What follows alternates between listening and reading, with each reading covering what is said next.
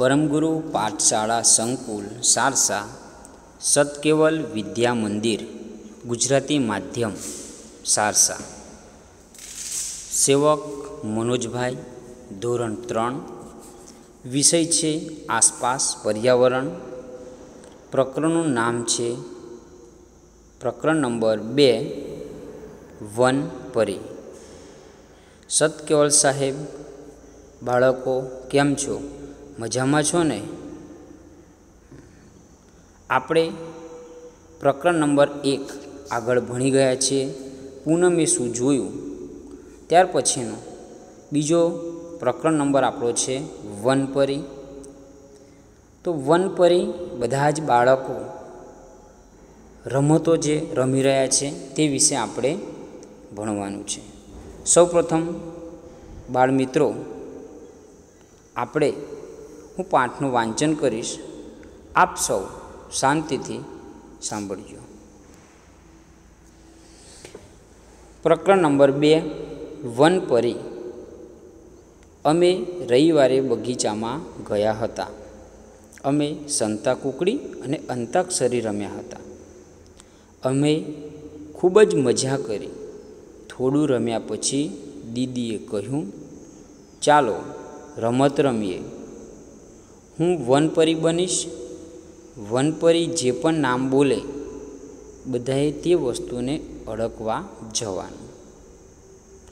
આ રમતની શરૂઆત થઈ. દીદીએ કહ્યું, વનપરી છોડને અડકવાનું કહે છે. એ જ સમયે બધા જ બાળકો છોડ તરફ ચાલી નીકળ્યા. બાળમિત્રો, અહીંયા વનપરી આદેશ કરે છે.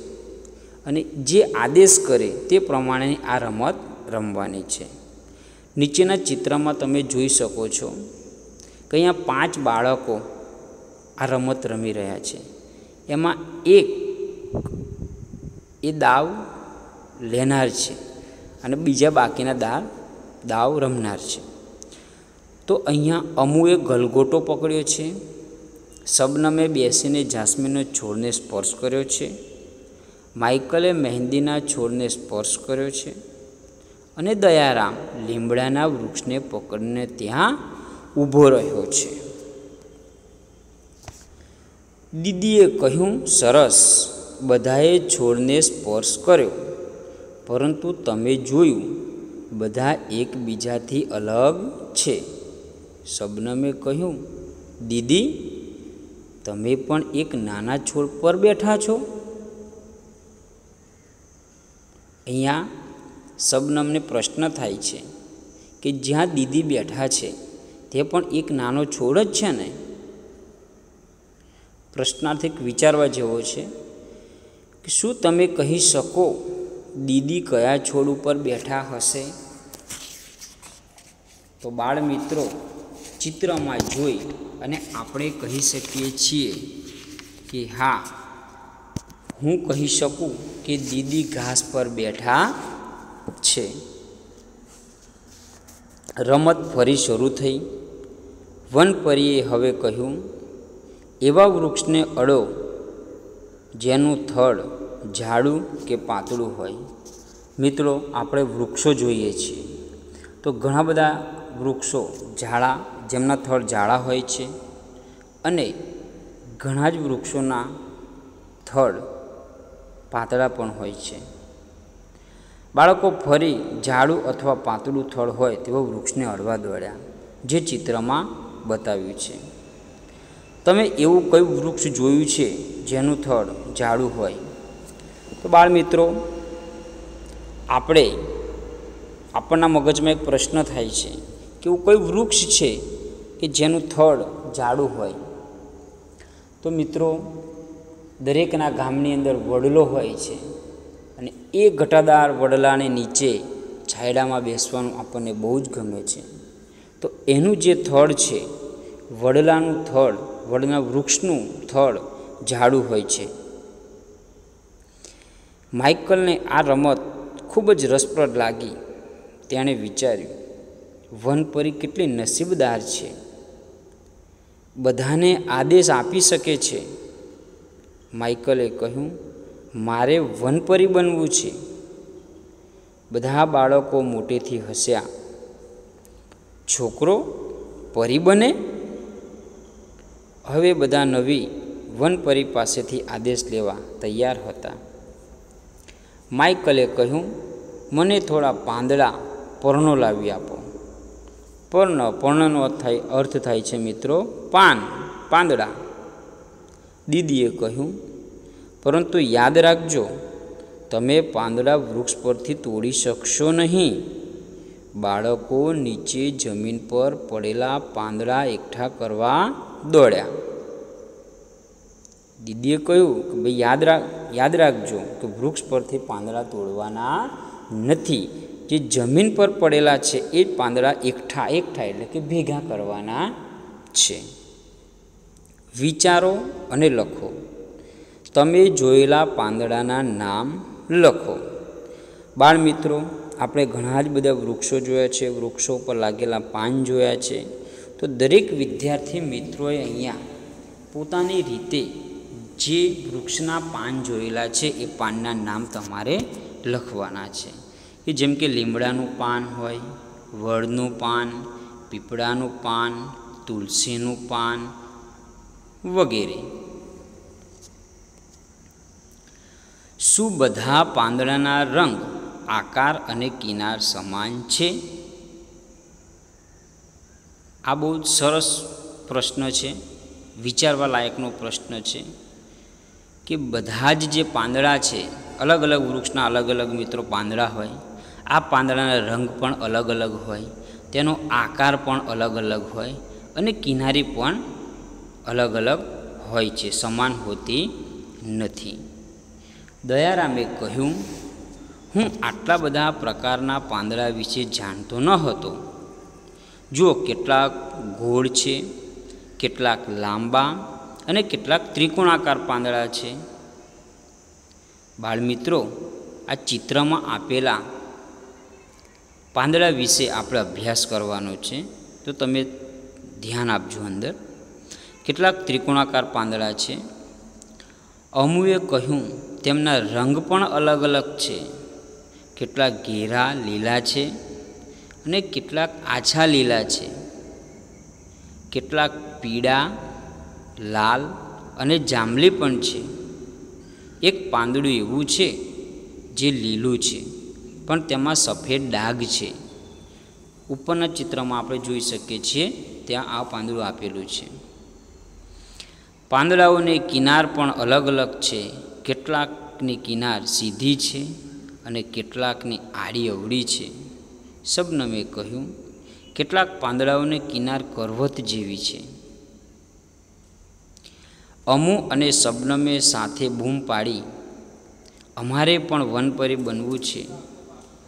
દીદીએ કહ્યું, આજે નહીં, આવતા રવિવારે. અત્યારે ઘરે જવાનો સમય થઈ ગયો છે. રસ્તામાં અમે અને દીદીએ કવિતા ગાઈ. વાંચો અને લખો.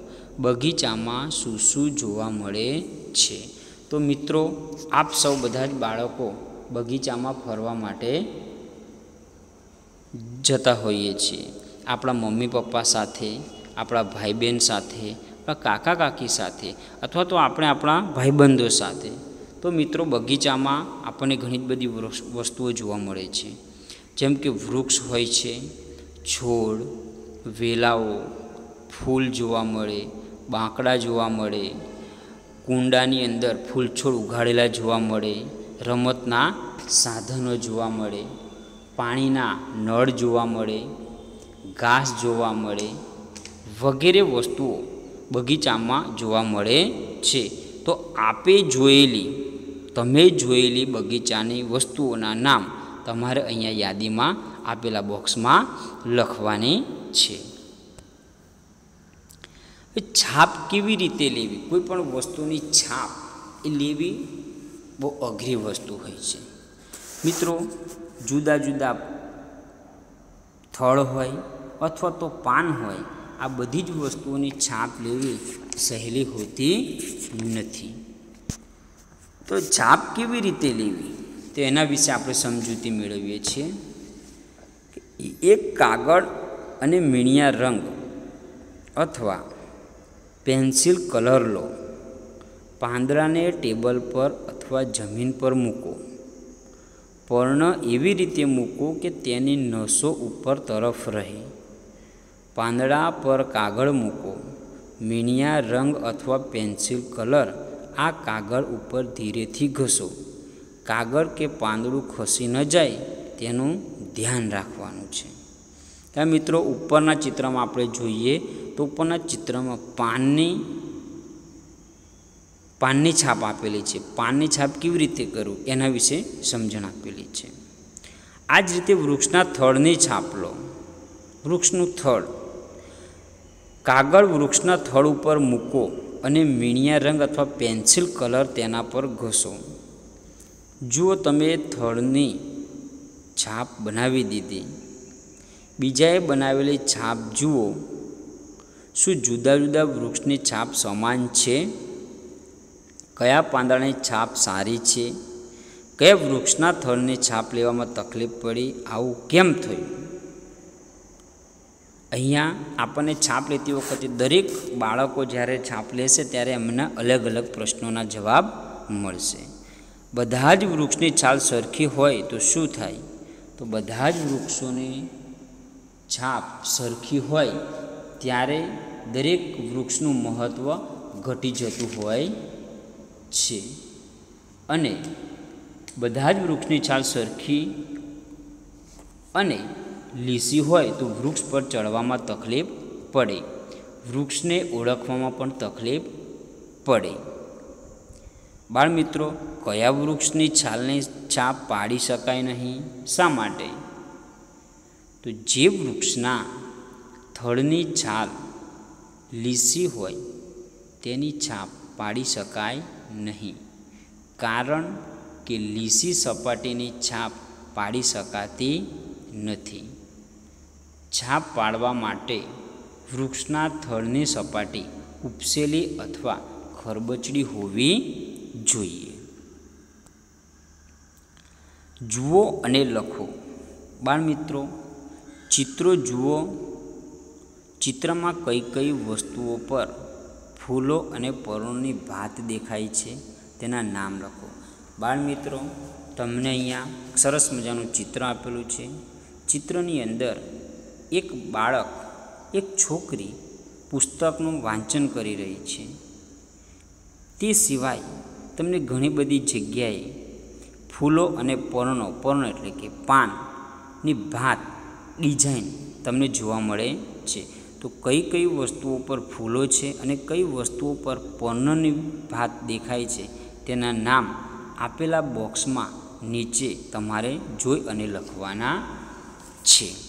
બરાબર? તો તમને ફોટો ફ્રેમમાં જોવા મળે છે. પડદો છે તકીઓ છે, પુસ્તક વાંચતી છોકરી એના પાછળ પણ ભાત જોવા મળે છે. પલંગની ચાદર છે અને ગાલીચો છે. વગેરે જગ્યાએ આપણને પર્ણો અને ફૂલોની ભાત દેખાય છે. હવે વિચારો અને લખો. બાળમિત્રો તમારા ગૃહ કાર્યની અંદર આ કામ કરવાનું છે. ગૃહ કાર્ય આપણે પાઠ ભણ્યા પછી એના પાછળનો ટોપિક છે, જે આપણે સમજી અને જાતેનું હોમવર્ક તમે કરી શકો છો. કે ઘરમાં જે વસ્તુઓ પર પર્ણ અને ફૂલોની છાપ હોય, તેમના નામ લખવાના છે. બાળમિત્રો આપણા ઘરની અંદર ઘણી જ બધી વસ્તુઓ પર્ણ અને ફૂલોની છાપવાળા હોય છે. પરંતુ આપણે તેના તરફ ધ્યાન આપતા નથી. પરંતુ પ્રકરણ નંબર બેમાં વનપરી વિશે આપણે ભણીએ છીએ અને દરેક વસ્તુમાં પર્ણ, ફૂલ, બરાબર? પછી આપણે આગળના ટોપિકમાં ચર્ચા કરવાના છીએ કે ભાઈ વૃક્ષ, વૃક્ષમાં મૂળ હોય, થળ હોય, પાન હોય, ફૂલ હોય અને ફળ હોય. તો ઘરમાં જે વસ્તુઓ પર પર્ણ અને ફૂલોની છાપ હોય, તો તેના નામ લખવાના છે. તો આપણા ઘરની અંદર તકિયા, બારીના પડદા, પલંગની ચાદર વગેરે પર આપણને પર્ણ અને ફૂલોની છાપ જોવા મળે છે. ટોપિક બીજો છે, તમે જોયેલા કેટલાક વૃક્ષોના નામ લખો. તો બાળ મિત્રો દરેક વિદ્યાર્થીએ વૃક્ષો તો જોયા હશે. અને અલગ અલગ પ્રકારના વૃક્ષોના પણ નામ લખી શકો. જે બાળકોએ જે વૃક્ષો જોયા છે, એના જ નામ લખવાના છે. તમારે આપણે કોઈ નામથી કોપી કરવાની જરૂર નથી. જેમ કે કેટલાક બાળકોએ આસોપાલવ બાવળ, વડ, લીમડો, પીપળો, બોરડી, આંબો વગેરે વૃક્ષો જોયા હોય, તો આ પ્રમાણેના તમે જોયેલા વૃક્ષના નામ આપેલા બોક્સમાં લખવાના છે. શું કોઈ એવા છોડ છે જે વિશે તમે સાંભળ્યું છે પણ જોયા નથી? તો બાળમિત્રો, આ પ્રશ્નના જવાબમાં તમે તમારા ઘરે તમારા વડીલશ્રીને, તમારા પપ્પાના પપ્પા અથવા તમારા પિતાશ્રીને તમે પૂછી શકો છો કે શું કોઈ એવા છોડ છે જે વિશે તમે સાંભળ્યું છે પણ જોયા નથી? જેમ કે બોન્સાઈ આ એક છોડ છે, એના વિશે તમે સાંભળ્યું છે, પણ કોઈ દિવસ જોયો નથી. ધંતુરો સૂર્યમુખી વગેરે. તમારા મિત્ર વૃક્ષ વિશે વધારે જાણો. બીજા સાથે માહિતીને વહેંચો. નીચે તમારા મિત્ર વૃક્ષનું ચિત્ર દોરો અને રંગ પૂરો. બાળ મિત્રો તમને અહીંયા જે વૃક્ષ ગમતું હોય, એ વૃક્ષનું સરસ મજાનું એક મોટું ચિત્ર દોરવાનું છે અને એ ચિત્રમાં તમને ગમતા રંગો અહીંયા તમારે પૂરવાના છે. તો બાળમિત્રો આપણે સૌ પ્રથમ વનપરી વિશેની માહિતી મેળવી છે. અહીંયા તમને જે ગમતું હોય એ વૃક્ષનું ચિત્ર દોરવાનું છે, તેમાં રંગ પૂરવાનો છે. એટલે કે વનસ્પતિ વનસ્પતિના ભાગોના નામ. એક ઝાડ દોરીશું આપણે, તમને ગમતું કોઈ પણ એક વૃક્ષ દોરીશું. એ વૃક્ષની નીચે સૌ પ્રથમ જમીનમાં મૂળ હોય છે. પછી મૂળ પછીનું એનું પ્રકાંડ એટલે કે જે થડ થડ જાડું અને પાતળું આપણે જોયું. એ પ્રકારે પ્રકાંડ કહેવાય છે એને, અને આપણે બીજા શબ્દમાં એને થડ પણ કહીએ છીએ. થડ પછી ઉપર પર્ણ આવશે. પર્ણ એટલે કે પાંદડા. પછી ફૂલ આવે ને ફૂલ પછી ફળ આવે. બાળમિત્રો ઘણી બધી વનસ્પતિઓ આકારમાં મોટી અને નાની પણ હોય છે. કદ અને આકારમાં મોટી વનસ્પતિને વૃક્ષ કહે છે.